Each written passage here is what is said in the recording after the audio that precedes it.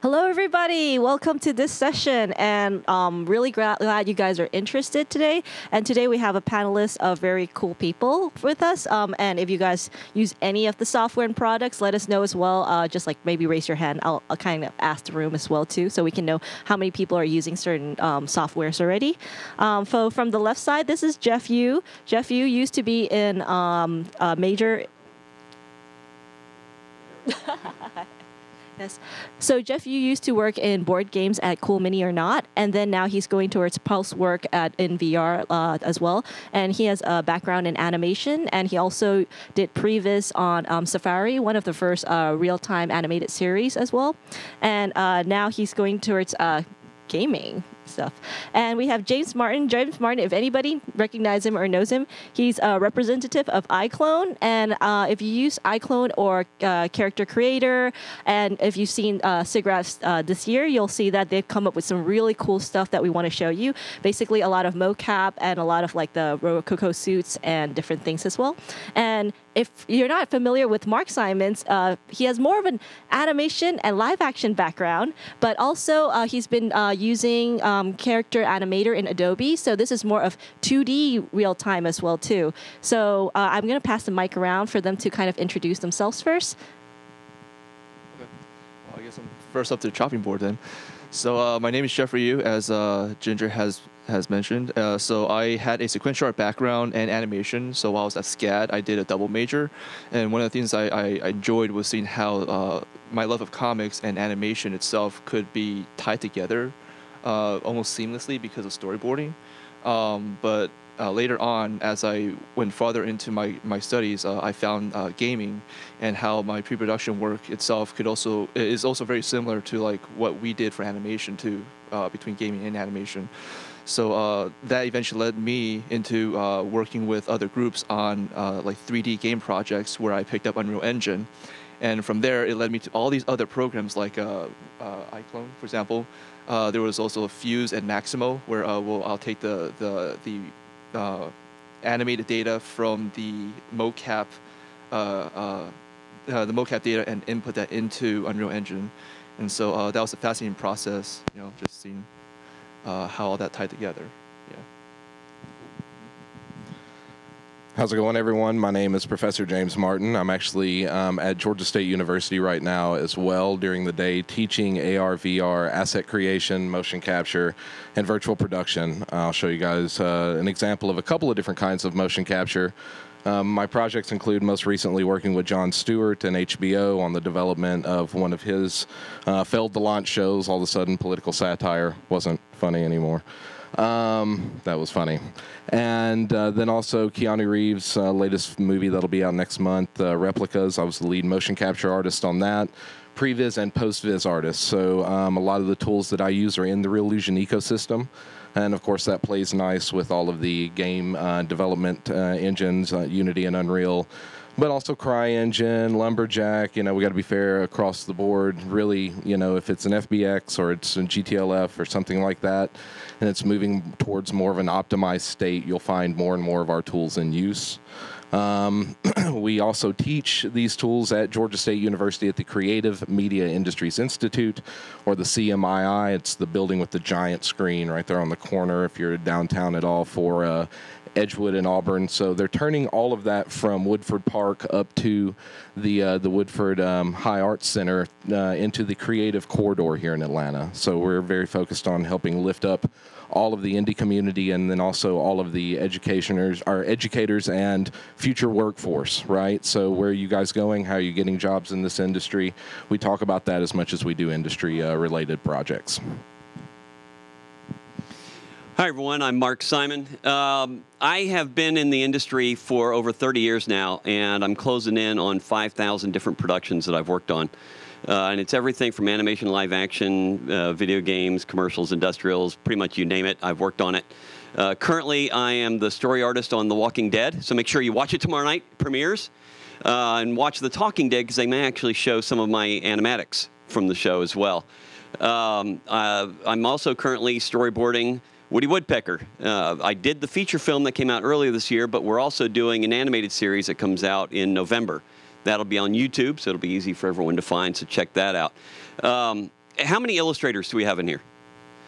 Any of you have the uh, any of the books, facial expressions, to draw from? All right, th- that's a, that's some of the books that I've written. I've written ten books on the industry. Those are by far my best sellers. For those of you who didn't raise your hands, for shame, go buy the freaking books. Uh, for those of you who don't know it, uh, as an illustrator, we all have a mirror that we draw in. I don't know about you, I got tired of drawing my own fucking face. So I created these books of 50 models. Each book has 50 different models, photographed all around their head, holding a variety of expressions. It's fantastic to draw from. Um, I also produce courses for lynda.com, which is now known as LinkedIn Learning. Uh, this is one of them here.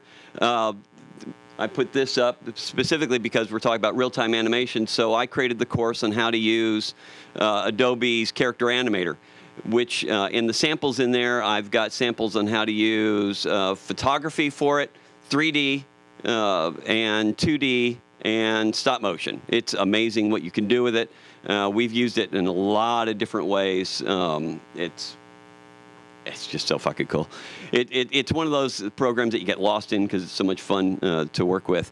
Um, oh, as far as story storyboarding is what I'm mostly known for. I started as a production designer out in Hollywood uh, many many years ago. I moved to Orlando to open up the Nickelodeon studios. Uh, so my wife and I were working on uh, developing, designing, and producing most of the shows that a lot of kids grew up on. Uh, everything from Clarissa Explains It All to Allegra's Window to Welcome Freshmen to the Aggro Crag. I helped design the Aggro Crag for Guts, for any of you who used to watch that, um, and even Double Dare stunts. Um, and then I left there to work with Steven Spielberg on SeaQuest. and that's where I started doing live action directing. I was a second unit director on that show as well as doing all the concept art and all the storyboarding on it. Um, and uh, then I started producing animation. I've won somewhere around 200 awards around the world for uh, projects I've written and directed. Um, and then I started helping develop the storyboard software, Storyboard Pro. If any of you use that software for Toon Boom, I came in to help them redevelop the software to work for live action productions. We won an Emmy for it in 2012. Uh, it is the main software that's used in the industry. I train studios around the world on how to use the software. I wrote the main book that's in seven different languages called Storyboards, Motion, and Art. Uh, the third edition is out now.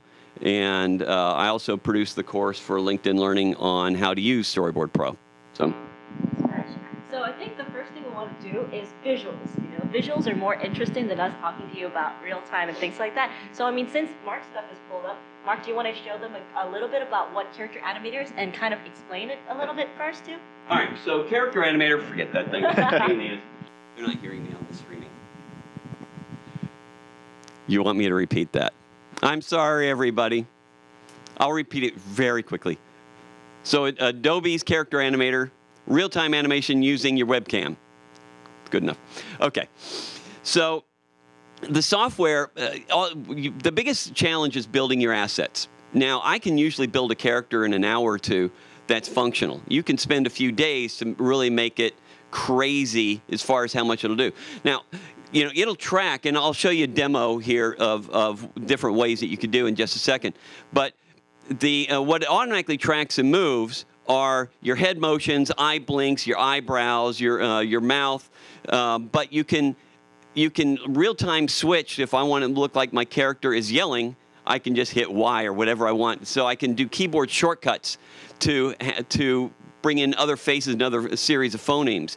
I can also uh, set it up where if I move, if I turn my head, the character's head will turn, but I can have it where if I turn my head, my character will do a dance or a jig. So you can have certain motions that you do set off certain animations. I can use my keyboard or I can use any number of outside sources, including MIDI, uh, MIDI keyboards, to set off any sort of, of animations that you have already preset. If your character is yelling, throwing fire, jump, jumping, running, or whatever. Plus, now we have uh, IK in it, so you can have a character kick a ball, hit a ball, something hit your character, knock it over. It's phenomenal, and literally every couple weeks they're updating it and being able to do more. So it's really well. For I found it really easy to use. Um, it, the interface is different than other softwares I've used, so it's kind of a sharp learning curve for an hour, and then it becomes. Then once you get, it's like ah okay, and then it gets a lot easier. They That's the other thing. They've been making a lot of changes to make it easier and easier to build your puppets. You build them in Photoshop and uh, and then import them into um, into Character Animator, and most of the setup is already done for you. And if you understand sequential animation, that's where you build the different sequences that can be keyboard uh, that can be run with with your keyboard or now there's a whole bunch of different ways to set up to run. So anyway, let me sh show you this real quick. This will give you an idea of some of what you can do in this.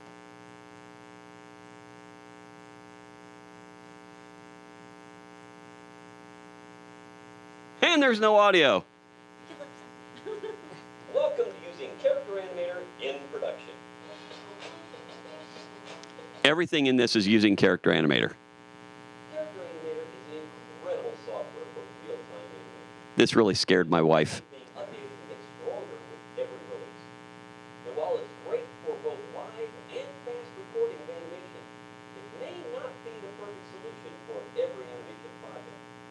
Every arm movement, I'm just using my keyboard real time as I'm talking. And some incredible ways to take advantage of the software. This course will cover using the software from the start of a project through pre-production and production and into post and delivery. We'll cover solutions to production problems you're likely to run into and offer you some great production tricks.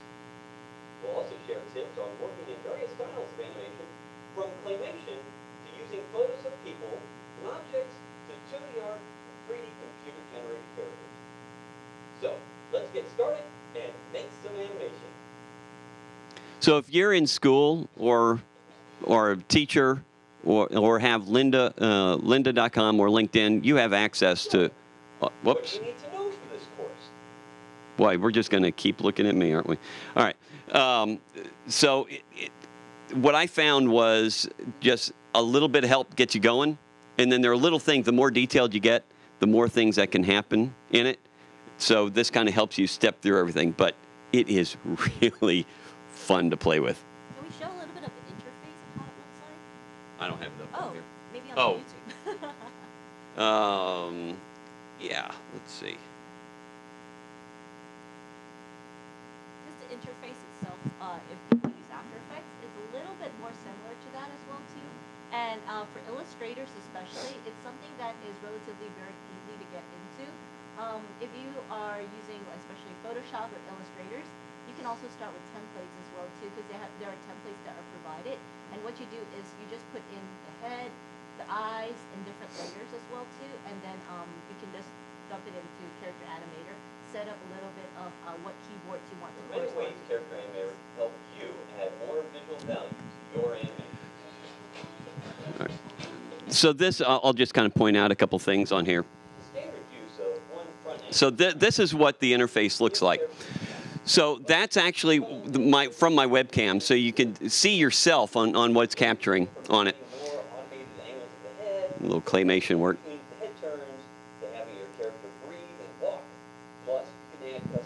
Here, let me pause it somewhere. All right, so down here, this, all these are different animations that I can have start up and run, either with the keyboard shortcut. You can see, you know, V for um, for picking up this bottle, F for fire, uh, W for a wave, or I can use my mouse and click on one of these visual icons, and that animation or that object will appear. Or I can have any of these set up for, uh, like I said, a MIDI keyboard to do it, or I can set up a motion that I do with my head to also generate any of these things to start working. This is this is the live output that you can see, and um, and if you click on on start, that takes you to they've got a lot of preset puppets that you can use, and they're free. I mean, it, there's no um, uh, Adobe is allowing anyone to use them for anything, even commercial work. So they've got a ton of puppets that are on there. When you go to rig, that's when you input your uh, your Photoshop file, which does have to be layered a very specific way and numbered a very specific way. They make it pretty easy, and they have templates where you can literally just replace the elements that are in those layers with your elements. They make it really simple. And then when you go into record, is when uh, when you can now see what you've got. And you can have multiple layers. You can have multiple characters happening at the same time. You can lay uh, lay this over live video, and we could have an animated character interviewing us real time. If you ever watch Late Night with Stephen Colbert, uh, when he has uh, animated God or animated Donald Trump or, or any of those other characters, those are all using this software real time. None of that is pre-recorded. So there's just a, a guy sitting off on the on the sidelines uh, uh, in the wings of the set, interacting with Stephen. So it's it's just fantastic. Yeah, so definitely like character animator. I know that soft uh, um, has been in development with. Yes. Oh. So character animator, um, the Adobe has been coming out with more and more features, as Mark has said already too, and with uh, my cartoon president especially, uh, they they do use that along uh, with uh, After Effects to create the series. And uh, one of the setbacks would be though is that sometimes the files are really big as well. Sometimes one character file can go up to like a couple gigabytes. So uh, you do have like a lot of op- optimizations to do with like the pitfalls as well. So um, maybe let's do a demo of yours first. What is iClone? What is Okay.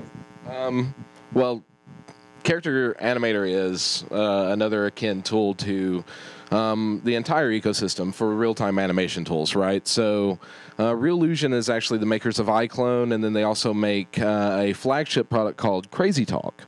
So a long time ago, Viacom actually found that, and uh, many uh, we actually have Jimmy Kimmel uses Crazy Talk on um, uh, often uh, on different bits. And uh, so it's real-time animation tools being used in the exact same way that that uh, you know we're talking about. And so we'll take a look at a couple. Um, and iClone is a 3D real-time animation tool, right? So that was used on replicas um, and then also a variety of other projects. But let's have a look at Crazy Talk Animator um, 3 first. So Crazy Talk Animator is very much like Toon Boom and Character Animator as well. So for the 2D artists out there, the illustrators out there, and especially the storyboard artists out there, because in my courses we start with concept art, right? So can you clearly convey an idea, pitch an idea, bring that into the workspace, and then clearly uh, define that for uh, potential client work? So I'll just show you some real-time um, project here. So this is actually in Crazy Talk Animator 3 and I'll just throw or double click a project. Now, does everybody understand the difference between real time animation and just animation? Yes? Yes? Right? So, real time means that we get collaborative and creative quicker, right? Instantly, we're able to talk about your material, my IP, your ideas, right? And we can actually edit that. Or if we go live broadcast, we absolutely can puppeteer that um, along with a live actor or, or somebody else that's interacting with the character. So it opens up a lot of doors that if you're waiting to render, you wouldn't have otherwise, right? So essentially, Crazy Talk Animator is what I like to call the love child between the 2D engine and the 3D engine, right? And you guys will see what I'm talking about. I'm actually just dragging and dropping a project in here, and I'm actually going to hit play because we're actually going to take a look at real-time animation, right? So here's my uh, my best attempt at a, a, a Dirty Simpsons opening, right? But you're getting the audio, you're getting the playback, and you're getting camera movement, right? So it's beyond just the character animation because all the character animation has speak to animate technology, just like Character Animator. It has actually motion capture uh, uh, capabilities that shares libraries between the tools. And then also I can get really specific with my IP because as you can see, I can brand this. So you can you can see the peach, and if you guys know what's up with hanging around downtown, you might have been to Mechanicsville a couple of times. So these avatars are again real time and set up for sprite based animation, right? Now, at any given time, because this is my project, I can stop that, okay? And we can talk about what I mean by the love child between a 2D and a 3D engine, because here's what you're actually seeing, ladies and gentlemen. So, parallaxing, essentially, a lot of fundamentals that you're going to put into your 2D animation is given to you by the luxury of being in a real time 3D engine, right? So we can continue the playback. And this is all, again, real time. So at any given time, if I wanted to select one of these characters, and I'm going to borrow a voiceover artist real quick. All right. All right. And we're going to say, ready? Action. Well, you didn't, didn't give me a script. But let me spray paint this wall. Cut. Too much. See, we're getting collaborative instantly, right? And now watch this. I can review that in real time. Didn't, didn't give me a, s- But even better, ladies and gentlemen, I'm getting facial animation didn't give me a instantly generated. Nice. Okay? So that sprite-based movement that you're getting out of Character Creator, you're getting out of Toon Boom, you're going to get out of Crazy Talk Animator. So that's our 2D. Okay?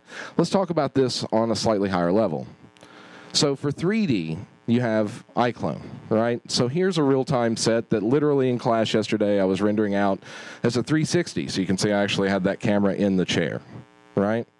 But let's just talk about the real-time engine for a second as well. So I can look at virtual scenes, I can look at characters, I can look at a lot of different types of animation. And again, we're not going to do it with a $27 million facility that we have down at Georgia State. We're going to do it with a $60 webcam. Okay? So if I wanted to go grab my little Logitech out of my bag, but you know what? I'm even going to go more down and dirty than that.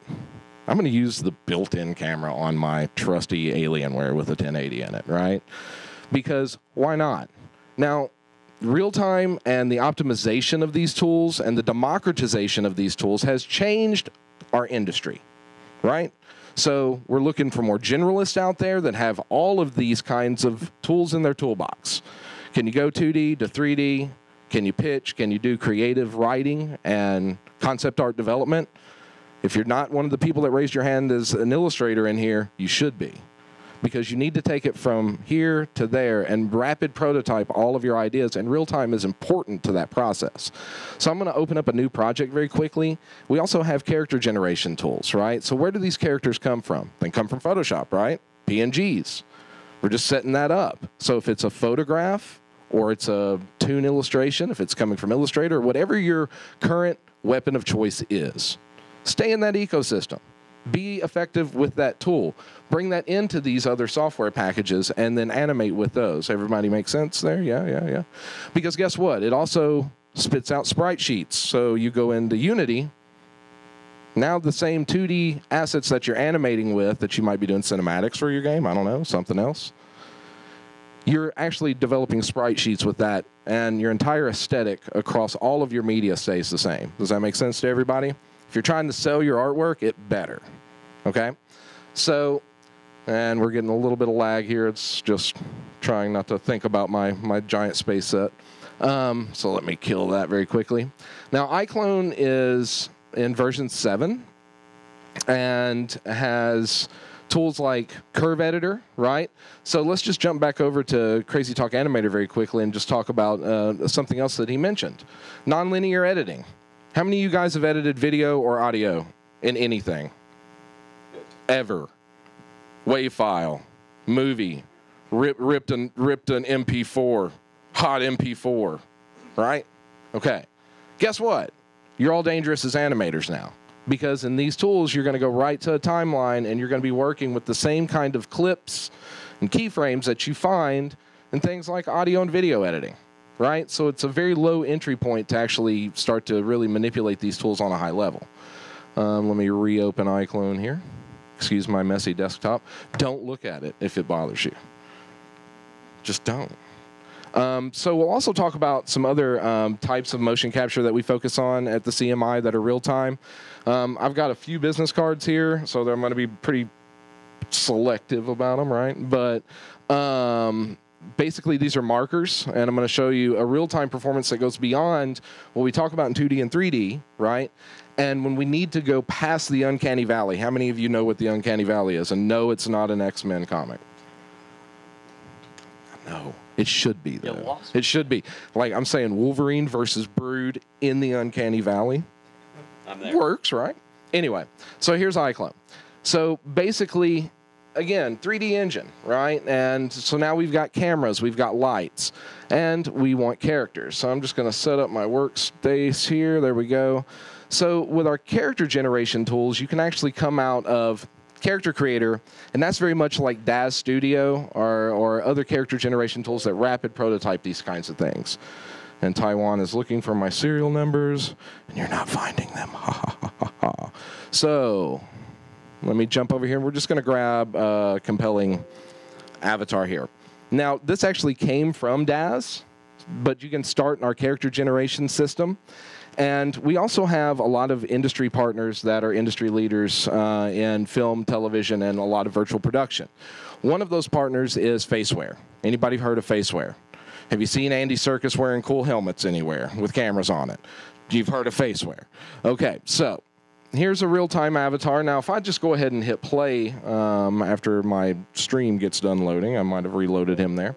Um, you're going to see things in real time that are automatically going to benefit you, but also notice the shaders, right?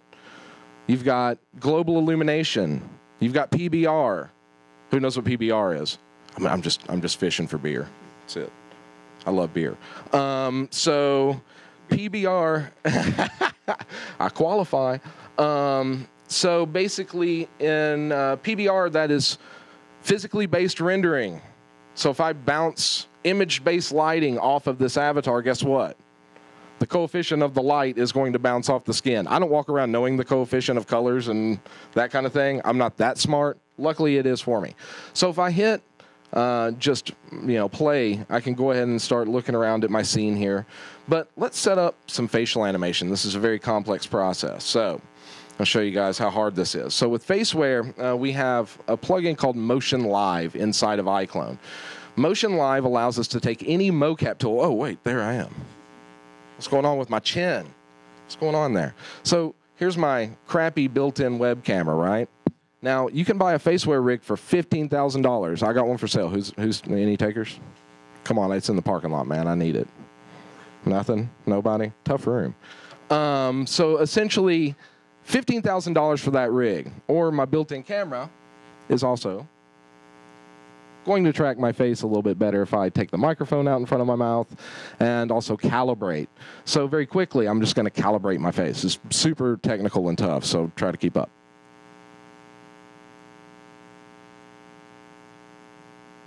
Okay, I'm done calibrating. So now I'm going to jump over here and I'm going to go to my plugin and I'm going to go to Motion Live. I'm going to set up Motion Live. This is super technical, you guys. And I'm going to turn it on. Oh, the green light of motion capture. I love it. And then I'm going to go to face. I'm going to pick real time. And I see that that's going to launch my iClone. I'm going to go to preview. And now, yes, real time facial animation. yeah. Whoa, dude. So, let's say I want to tweak this. Ah, too much. I'm breaking my rig. Ah, now I'm dialing that rig in. So, let's create some facial animation, shall we? Welcome to SiegeCon. well, that was tough. It's a long day. I'm done. See you guys later. Right? Now, as an animator by trade, that's money in the bank. Okay? So I can go ahead and disconnect from that and then I can hit play. Ah, now I've got facial animation. That's real, true facial animation. Let's talk about some of those mocap tools, shall we? So we don't need the mocap tools. I want the mocap tools. I got all the mocap tools, but I don't need them, right? So I can come over here, and if I just want to puppeteer some more posing, uh, let's just go front. Okay, that looks pretty good. Let's preview this. Oh wait, maybe those uh, maybe those elbows need to come out a little bit. Ah, there we go. Uh, maybe we can come down. Maybe uh, toes in. Uh, yeah, he's a better posture there. Okay, a little bit more energetic, please. Thank you. And are we ready? Sure. Let's go ahead and let's record some body motion now with our puppet. Now I could do this with a Wacom, I could do this with my mouse, or I could just allow it to do all the heavy lifting here. So we're just going to set up this profile, and once I like what I got here, there we go, there we go, there we go, I'm just going to record and play. Okay, setting up character animation should be this easy for all of you. Because with these tools, oh wait, I've got some collision there. Who hates collision? Woohoo! Shout out to my 3D guys in the room and gals. So, boom, I'm going to come over here and I'm going to do a little uh, little cleanup, little offset. Okay, so now guess what? That collision is gone. Boom. And I can see that in real time as well because I can go back to the beginning of my scene and if I want to reset that, boom, I got that. So now I'm cleaning animation, I'm creating animation, I'm doing full body in 3D in under five minutes in real time. Does everybody see the benefit of that? Because guess what? Remember that timeline we were talking about? Right here it is. And guess what else? This all goes out, right? So if I want to send this out, if I'm done with this and I say, you know what, give me this rig, it's time to be an asset. We're going to Unreal. We're going to Unity. I might take it to Photoshop, make some uh, make some PNGs, and then go into Character Animator. Why not? Right? Because we've got that ability. Now the ecosystem and the reason this is important is the bridge out is 3D Exchange. So 3D Exchange takes you to Epic. It takes you to Unity. It takes you to the other tools that your artists are using, and here's my rig, and here's all my components. And literally, I can come back over, and in real time, mind you, right? You guys are watching all this development, right? Which means if you're on a computer that's a game ready machine, and you have this tool, which costs about $250 to get started with, Jeff Jeff can afford it on his bluegrass or his bluegill diet, man. He, he he's eating bluegill. I'm telling you. Um, so essentially, it's affordable for students. It's affordable for indie developers. It's affordable for everybody, really. So even larger studios can outfit this and put multiple seats on a pipeline, and then everybody's getting faster. And really, it's all about the speed right? So if we come over and we look for what we've created here on our character, here's our here's our big ugly motion clip right? So remember remember the uh, the the WAV files, right, that we were talking about? Guess what, guys? If we drill down on this character and go into the Viseme, here's some of these uh, usual suspects you might be used to seeing. And all of a sudden, this becomes very demystified. So if we dig down into our lips and our voice here, and we look for that facial animation, it's going to be found on our, our track here, and then also all of our motion clips and our keyframes associated with all of that. But what I can literally do is say, you know what? I want all of that in one FBX. Please send that to 3D Exchange.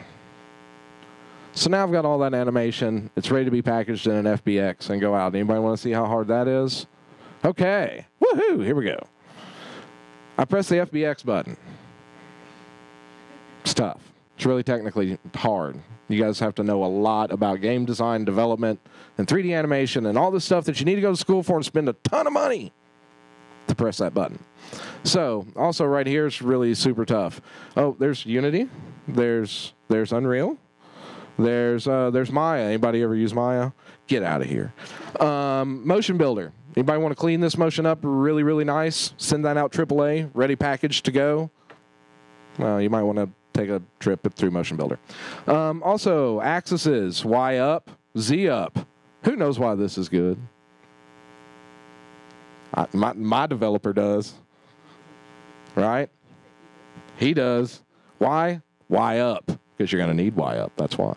Um, so all of your uh, your source morph shapes, your duplicated objects, your scale, your diffuse textures, okay, your formatting, right? Your max texture size. Guess what? 4K. Take your textures out, make it beautiful. Take it into Substance Painter, make it more beautiful. Because guess what? It's all within our ecosystem, right? So this is all packaged in with your uh, your FBX inherently coming out. I can play and review in in uh, 3D Exchange before I send it out. Okay, why real time is important? Because it's faster than other workflows. Everybody get that? A lot of head nodding. That's good, right? Because if you're faster and more effective with your content creation, you're going to get more jobs. You're going to get on more stuff. Your demo reel is going to grow. All right and you're going to be more effective in your field. And if you're faster than the artist sitting beside you, chances are you're probably going to get the job that they might not. And that's just real talk. For my students, I'm just letting you know it's a harsh industry out here, and we're all competing for the same gigs, right? So be fast and effective. And if you can do that from concept art all the way through to delivery of a vertical slice of a working game, right? Because if this goes out into Unity or Unreal, now we're doing VR. Now we're doing AR right? So let me show you guys something cool. We hold this for a second, sir? Thank you. So, I'm going to switch to a very technical device, my cell phone. This is what I got my degree for right here. This is great. I'll take it back. Thank you, sir.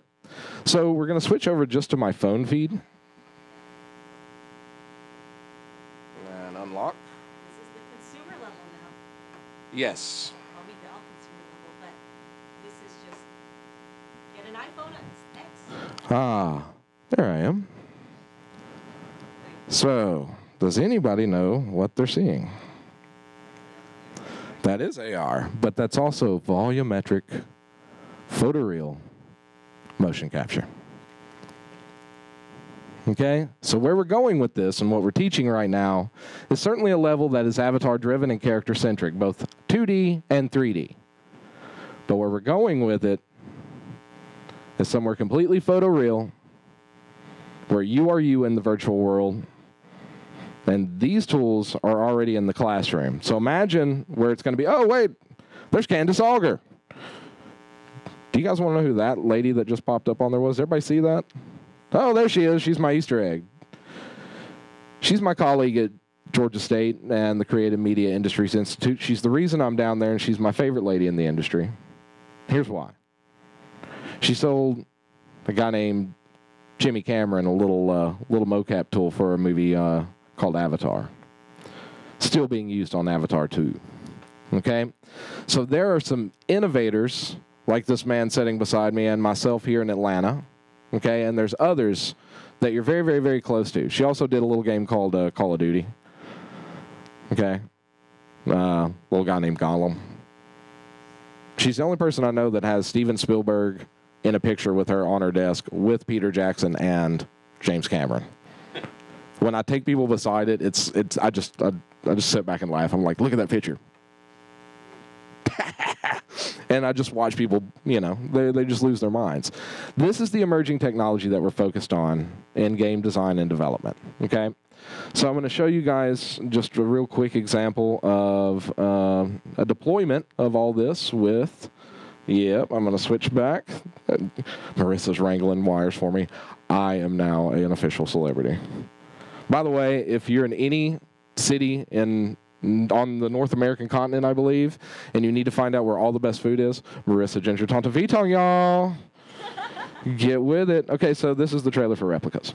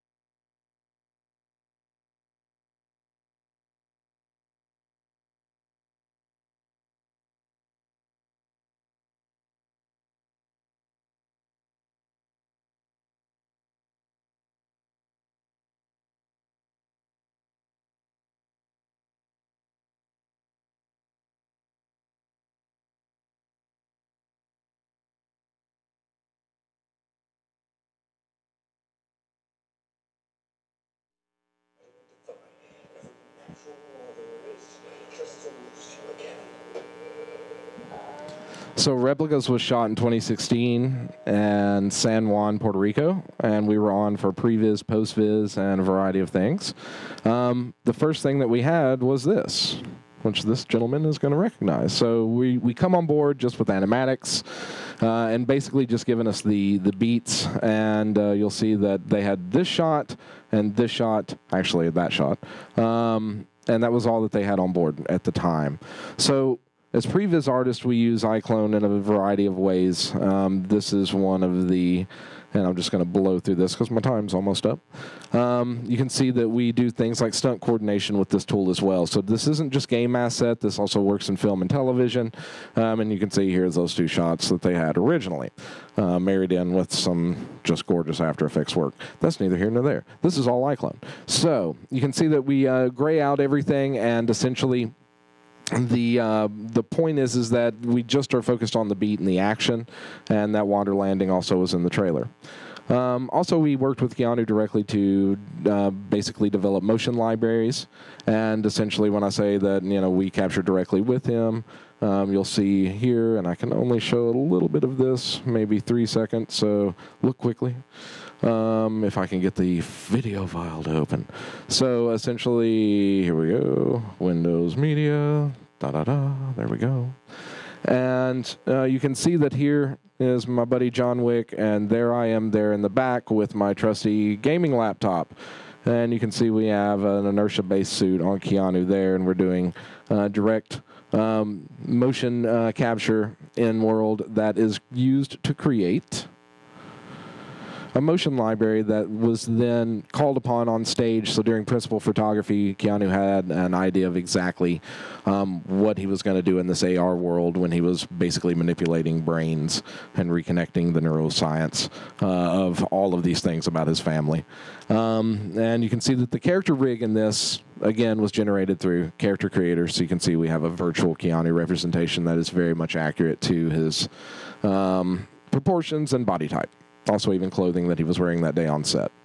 Um, I'll show you a couple of things that we did in post-viz and principal photography as well, uh, just very quickly. And then I'll open it up for questions. So this is just a small rough cut. And you can see that uh, we had a um, awesome cast in this. Thomas Middleditch from Silicon Valley, one of my favorites. Uh, Thomas was awesome. Um, Alice Eve, Black Mirror, she's out of your league. Uh, another super awesome actress. This is 345. And the cool thing about this is iClone was used um, in the motion capture development of this, and it's also four of us. So it's actually the stunt performer, myself, the executive producer, and also the director, all in this one performance. And you saw some of this also made it into the trailer. So 345 is the rig we were working with, and we are able to take those film backs directly and uh, do post-viz overlay of the film back itself after principal photography is done. Uh, Thomas kept breaking scene there, and I got in trouble with the director of photography. So uh, I'll show you one more. And again, sorry I'm not giving you the full spiel here, but this is still unreleased. So this is uh, a little bit of behind the scenes. And this will be out uh, next month, actually. So the trailer was uh, the 2017 trailer. This will hit theaters in November. And there's John Ortiz and Alice Eve. And then again, you can see that the 345 character is actually represented by this stuntman. And uh, so Danny was doing um, principal photography and a lot of uh, cable work. So when you do uh, characters that have strength and want to throw things around, or you have you know a superhero, uh, you need to coordinate that motion capture with the actual stunt team as well. Um, so we do things like cable work uh, where stunt guys are flying across the floor and things like that. We'll go in and we'll we'll um, uh, get all of that motion data for that as well. And that's going to wrap it up. Oh my God. Oh, no, not yet. Not just yet. Not just yet. Not just yet. Yeah. Well, wow, James, you just like, bam, presentation blew wide. I was like, all the questions I was gonna ask was all answered. Yeah. well, well, well, a lot of them. Yes, a lot of them. Yeah. But first, Jeff, and now he's like, oh no, I'm going after the guy who knows Keanu Reeves. What am I going to do now? How am I going to live up to this? And the other veteran too. It's like, oh, yeah. So, uh, Jeff, you were also working in some of the previous works uh, of uh, real-time animation. And is the process any difference? Uh, like any different? And also, like being someone who did not actually come from this field and then learning it yourself. What any like tips or tricks you want to tell people? Yeah. So uh, for the pre-production, well, yeah. So for the pre-production process, it's not too different because you're still doing, you know, the character model sheets. So it's have the 3D model the characters, animated, rig it. Uh, I found uh, used iClone was great too because you can actually do auto rigging in there, and then you can and with Mixamo, it was, uh, they had it as well too. Yes, absolutely. Okay, so Chrome.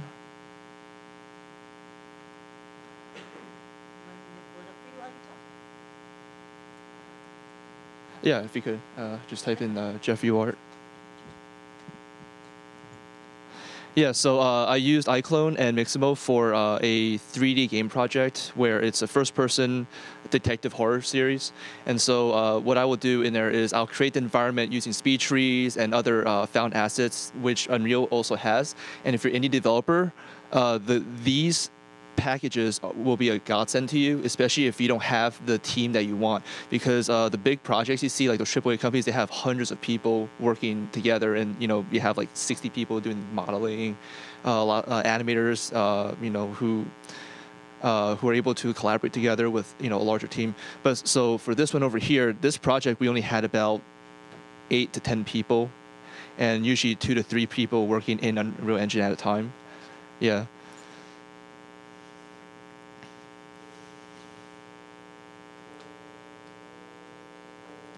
So the first person motion Unreal Engine has a package that is for that's a, that's like a starter pack. You can actually you can uh, use that and bring it into Unreal uh, into uh, uh, iClone and tweak it. Um, one of the things we tried early on in our development in our R and D phase was we actually tried doing like a third person body and then tying the camera to the body, so that uh, if you if the if the if you hit a keystroke to like have the hand come up with the cell phone or something, you can actually see this, the hand come up in your screen. Uh, to, to make it a little bit more immersive.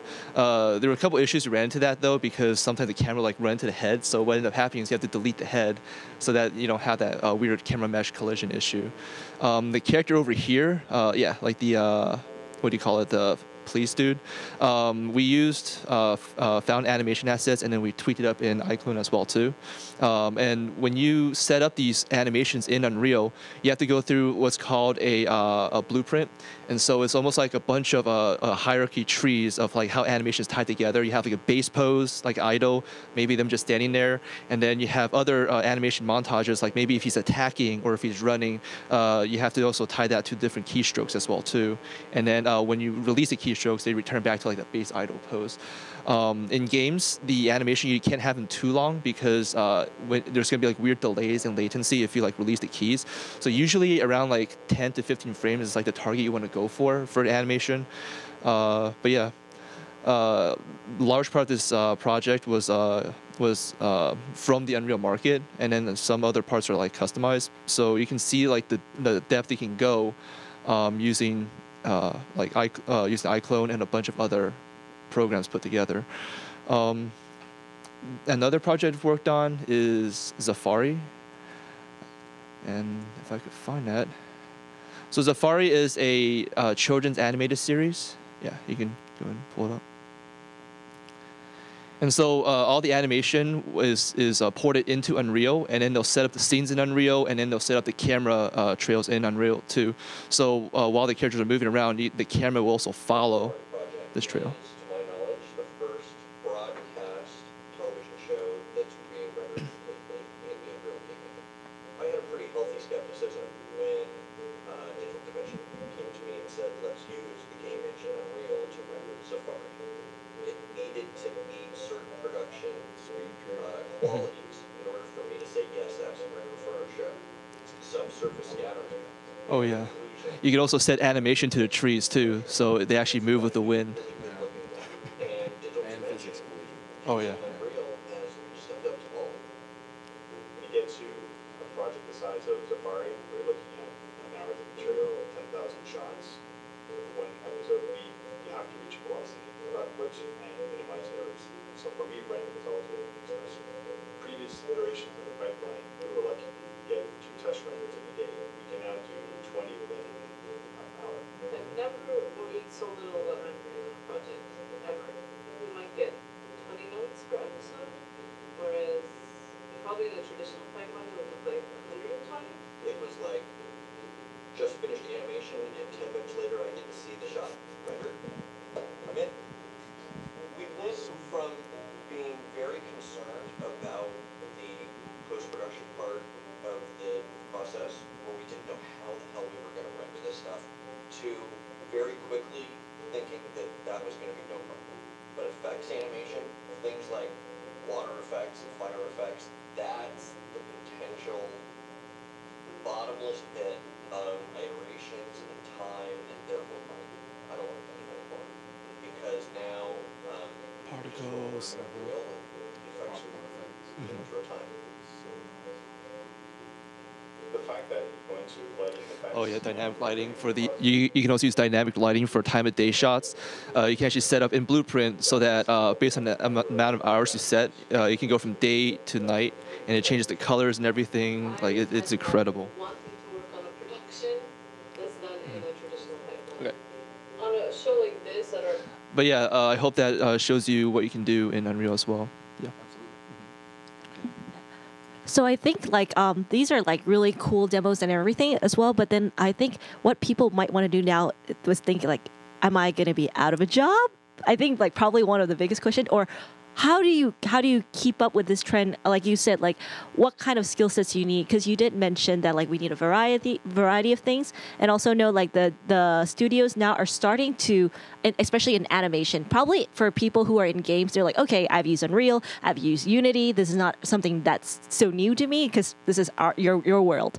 But in animation these are things that are actually starting to become more and more like prominent in the pipeline as sometimes animation follows games uh, kind of technology as well. So i think right now uh, the question would be like what do you think would be the future of like if if if i want to s- still keep my job what would be things that you want to tell people as well? So you'll find things like the sequencer in Unreal and the timeline in Unity, and you're you're seeing a lot more of the the tool sets and the ecosystems merging for film, television, and game creation. And a lot of companies are also asking more for gamification of their IP. So movies are releasing with VR. Um, you know, you just had uh, like for example, Immortal Vader. Um, anybody see that from ILM? Beautiful. You get to go to Vader's castle. Um, and then I'll, I'll just give you a real world example. Um, Max just accompanied me to Taipei, Taiwan, where he competed in the 48 hour Animation Jam finals, where he actually was on a two man team that won a Faceware uh, Best Technique Award in that competition. That competition is actually the, the grand prize is $10,000 US. So we actually have the local round here where it's just like a 48 hour uh, film festival, but it's a 48 hour animation jam. We hosted that at GSU. Um, it's free to enter, so anybody can come in, get down, and start to animate from script to screen. Um, and then we had celebrity judges um, in uh, Taipei, um, one of which was Daniel Gregoire from uh, Halon. Um, you guys, has anybody ever heard of Halon? Okay. Has anybody ever seen Star Wars? Okay. So remember the uh, the Millennium Falcon when Rey is flying that and the big epic scene? Yeah, you know Halon then. Uh, how about Planet of the Apes? Anybody seen War for Planet of the Apes? Caesar, all those monkeys in the beginning, a lot of apes, right? Right? Then you know Halon because they create previs for these movies.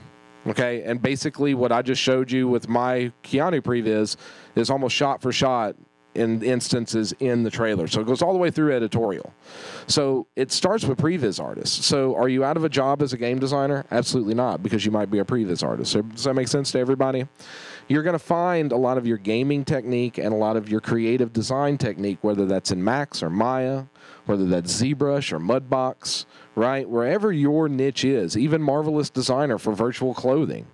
You know, you literally can find a niche, right? Maybe you're a lighting artist, maybe you're a virtual scene developer, right? Maybe you're not a C and Python, you know, extraordinary programmer, and that's okay because you're going to find other homes for these tools, and you're going to find them in places you probably wouldn't expect to, uh, believe it or not. Well, the biggest thing is building a portfolio uh, and staying up and, and learning. I mean, I literally study and learn more now than I ever did when I was in college. Um, and, and luckily, it's fun now. Uh, when you don't have to worry about grades, life is a lot more fun. Um, so it's like there's in, in storyboarding, uh, which is obviously what I do the most, there's still a tremendous amount of artists who work on paper or they're boarding in Photoshop. Both are antiques. And uh, at my studio, I own the largest storyboard house in the southern U.S. We just moved here to Atlanta from Orlando uh, earlier this year. I will not hire someone who's not using Storyboard Pro because what we deliver is so fast and so far beyond what you can do in Photoshop or, or, or paper. If you're not using Storyboard Pro, you can't deliver what my clients expect from me. So you need to stay ahead. Now, I don't care if you have a degree. In fact, no one in the industry cares if you have a degree. Now, I'm not saying don't get a degree, so it's okay. Don't say that. because that's where you can learn your skills. But in over 30 years of working in this industry, I've never been asked if I have an education. Not once, because no one gives a shit. Your portfolio. What can you do for me? Yeah, it's the quality of your work, period. So don't ever make the mistake, and I see this a lot uh, um, with, when people say, well, I did this for free or I was an intern. Don't say that because all you're doing is taking the value away from your work. Did you do the work? Yes. Then you can do the work. That's all that matters. Don't start your conversation with, well, this was a college project, because you just took all the oomph out of what you're showing. Just say, I did this. And stop talking and just let your work speak for itself. Spend those extra hours on your own. How many of us work all through the night just fucking playing around to come up with something new, right? When I learned um, uh, the um character animator, it wasn't so I could do the course and it wasn't for a gig. I thought, wow, this is really freaking cool. So I learned it. And then I started using it. Then I started getting paid to use it. Then I was paid to teach other people how to use it. Just keep learning and keep staying ahead and invest in whatever you can. Or, in fact, that's one of the great things about school. You have access to the tools you might not be able to afford otherwise. The problem I see is a lot, most people don't take enough advantage of what's available to them at those schools. You've got people like this at the schools. If you're not peppering him with questions, you're an idiot because I'm going to be doing that later. Um, no, it's take advantage. I mean, when I was when I was in college, we had this great animation set up, and no professors who understood animation. So I was self-taught, but I used all the equipment, and I taught myself how to use the equipment. I stayed up all night because the classrooms were being used during the day, so I just stayed up all night long. And, and learned how to use it. In fact, my, my first here, here's an example of, of how to how to move ahead because I'm, I'm going to really date myself. In the years before Photoshop, we had Rio. I don't know if anyone's old enough to remember Rio. It was one of the first paint programs. And there was, and I don't even remember what the original 3D program I was learning was.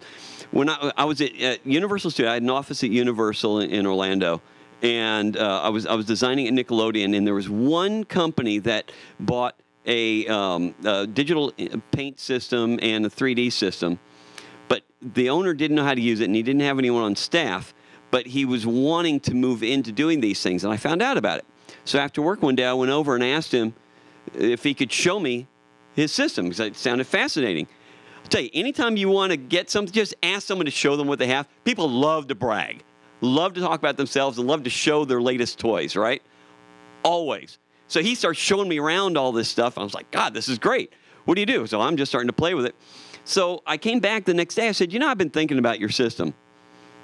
I'd love to learn it. Can I just come in on off hours and play with it? And he said, Yes. So I didn't have to pay anything. This guy gave me a key to his office. I went in, I worked halfway through the night just learning his system. So then he lands a, uh, he sold a TV series called Firefighters on NBC. This is back in the early to mid 90s. And they needed a bunch of uh, uh, digital paint done on ATF photos, logos, and some 3D animation for it. And I was the only one who knew a system. So all of a sudden, because I was putting in the hours and learning it, I got my first network, uh, uh, my first network CG gig, because I was the only one who was there, and he knew me. Which is the other point. You want to get gigs in all of this stuff, in whatever you're doing, meet the people in the industry who are doing things. Part of that is like events, like coming to events like this, but not being a wallflower. It's working events like this.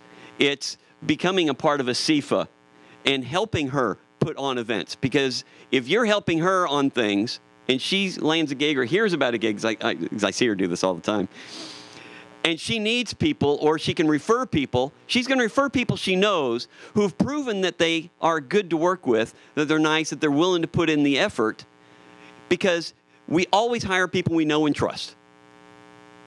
I have never hired an artist or an animator off uh, uh, by using an ad or placing something online. Not once in 30 years. And I've hired thousands of people. I hire people I know and trust. And if I go through that list and I haven't found it, I go to people I know and trust and ask them who they know and trust, and I find who I need. So if you're not one of those people who's known and trusted, means you're sitting on your ass and sending out emails thinking that's going to get you a job and it won't. You have to get out there, work, meet people, prove what you can do. Get off LinkedIn. Uh, just to piggyback off of uh, what Mark Simon said, yeah, uh, there's a lot of great conventions out there too. Like SIGGRAPH, for example, it's a technology research uh, convention, and uh, people who go there are, do a lot of dissertations for like technology, robotics, for example, and you find see new like software programs that they bring out. In fact, when I was there, there was a guy who had like this weird robotic arm thing that they put on you, and then you put on these goggles, and then Ginger over there, for example, could like control the robot arms and, and see through your eyes and uh, it, and uh, it was just really incredible uh, with what they're able to do. Um, and over there, you, you meet people from like. yeah, James was there and he was in a suit making weird faces. it was great. And then uh, you meet people from EA, for example. You go on studio tours there. There's like Atomic Cartoons. So you have all these ample opportunities just do that. Uh, at Siege as well too. Um, don't just go to just artist panels as well too. Go to Kickstarter panels. In fact, that's how I got my first job in board games. Was that I went to a Kickstarter panel and they're like, "Oh, we need a graphic designer. Can, can you do that?" And I said, "Yes, I can." And you know, there you go. Uh, sometimes we go to other like just art related panels. There may be a lot of other people you're competing with as well too. But you never know if some CEO or some other person is looking for uh, someone with you know that uh, uh, the skill set you have.